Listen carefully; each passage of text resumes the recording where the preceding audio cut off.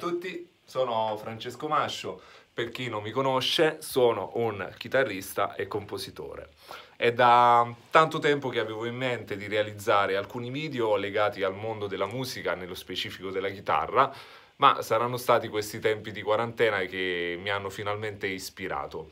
Allora, quello che avete appena ascoltato è una scala indiana. Questo video infatti verterà proprio sul discorso delle scale esotiche, un tema che mi è particolarmente caro perché attingendo dalle sonorità dei vari territori, dei vari continenti, ho la possibilità di arricchire il mio bagaglio musicale sia da un punto di vista del fraseggio ma anche um, degli input a livello compositivo.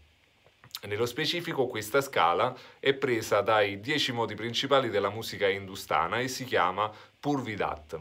Ascoltiamo esattamente come è formata.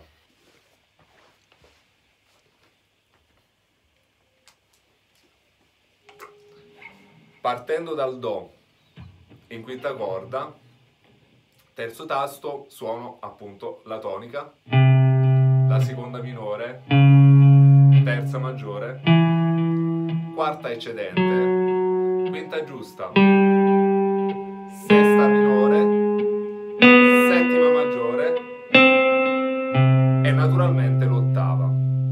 La suono una volta per intero per aiutarvi a fissarla meglio nell'orecchio.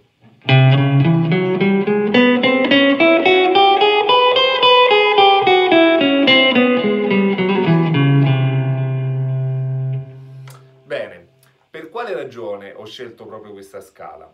Pur trattandosi di una scala che ha degli intervalli eh, diciamo non esattamente vicini alla musica occidentale, in realtà ha una caratteristica molto particolare, e cioè quella che per un caso fortuito ricalca esattamente gli stessi intervalli della scala pentatonica, ma nello specifico la scala pentatonica blues con la settima maggiore. Io ora do per scontato che voi conosciate questa scala molto comune, che è appunto una scala di 5 note, in cui vi è l'aggiunta della blue note, la quinta diminuita, e della settima maggiore.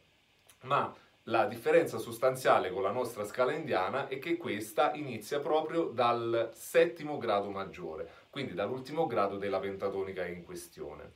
Quindi così facendo abbiamo visto che otteniamo una scala maggiore, poiché ha la terza maggiore, ed è molto ehm, utilizzabile ad esempio sull'accordo maggiore settimo quinta più o l'accordo maggiore settimo quarta diesis. Naturalmente possiamo utilizzarla anche su una semplice triade maggiore, su un accordo maggiore settimo, per cui è abbastanza versatile.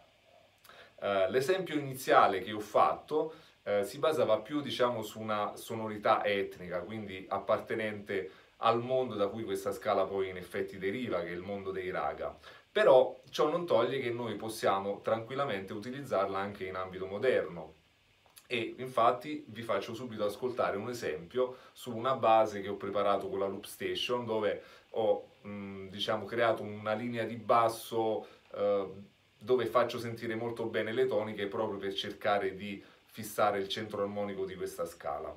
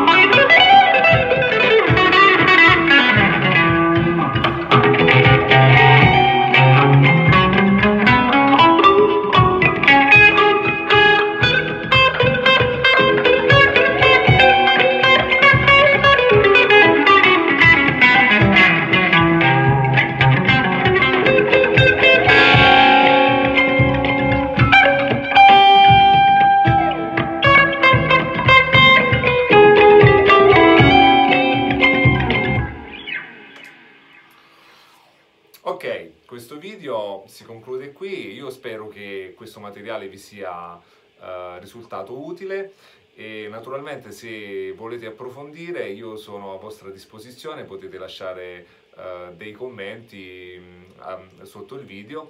Naturalmente se non vi siete ancora iscritti vi invito a farlo, per chi invece è già iscritto vi invito a cliccare sulla campanella per ricevere tutte le notifiche. Infatti ho intenzione di pubblicare settimanalmente dei video e vi anticipo già il video della prossima settimana che verterà sempre sulle scale esotiche, nello specifico su delle scale indiane um, ma viste in una chiave diversa, cioè in una chiave etnica sulle accordature aperte. Quindi tratteremo due argomenti diversi, scale nuove ma anche accordature nuove. Quindi vi invito a seguirmi. Grazie dell'ascolto, buono studio e a presto.